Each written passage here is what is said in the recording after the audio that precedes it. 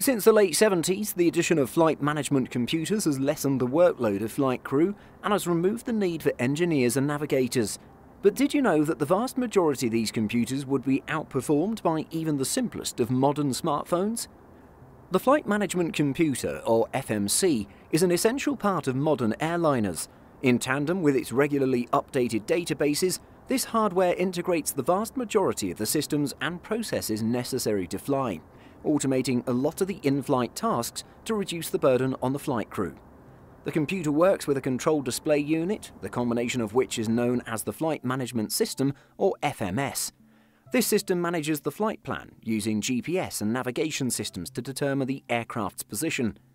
The first real FMS was introduced on the Boeing 767, although there had been some other navigational computers around before that. Today, these computer systems are used on aircraft of all shapes and sizes, from the giant A380 down to the Cessna 182. The thing about these computers is that they were designed quite some time ago, in an age when having a computer at home was a rarity. Despite the rest of the world moving on somewhat, aviation for the most part is still very much in the dark ages. After the development of the 757 and 767, Boeing turned its attention to the 737. Working with Smiths Aerospace, now GE Aviation, Boeing developed an FMC as part of a complete update of the 737, producing the 737-300, which was certified in 1984. At this time, the FMC had a 96,000-word navigation database on board, with each word representing 2 bytes, giving that first 737 a memory of just under 200 kilobytes. Subsequent updates increased this to 192,000 words in 1988, 288,000 in 1990, and then to a million in 1992. This means that the very latest of the classic series would have sported an onboard memory of 2 megabytes. By the 90s, technology in home and business computing had moved on.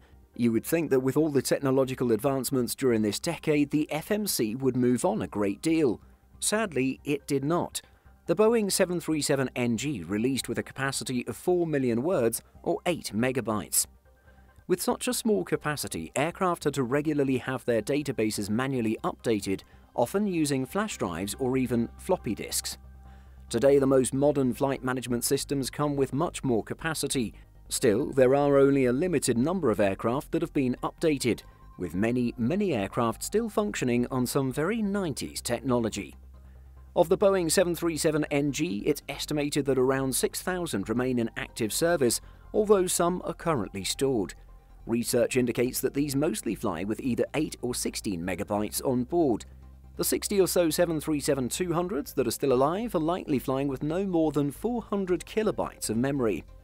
Some Airbus A320s, though still on the Thales MFS-1, have a capacity of around 400 kilobytes on board, Others in the fleet will have the FMS2, which ranges from 5 to 7 megabytes in capacity. Other aircraft with notably smaller brains include the 757 and 767, of which models are flying with between 400 kilobytes and 4 megabytes of storage. A handful have been upgraded to the Honeywell Pegasus 2009 FMS, which boasts 7.5 megabytes of storage. As for the most modern 747, the 747-8, it has an impressive 100 megabytes of memory in its FMS. However, for older 747s, it's estimated that there are, or were, around 97 Boeing 747-400s currently flying with 2 megabytes or less in memory. Undoubtedly, for most of you watching this video, this will be a tiny fraction of the smartphone memory sitting in your pocket every day. Are you surprised by how little memory an aircraft has? Let us know your thoughts in the comments.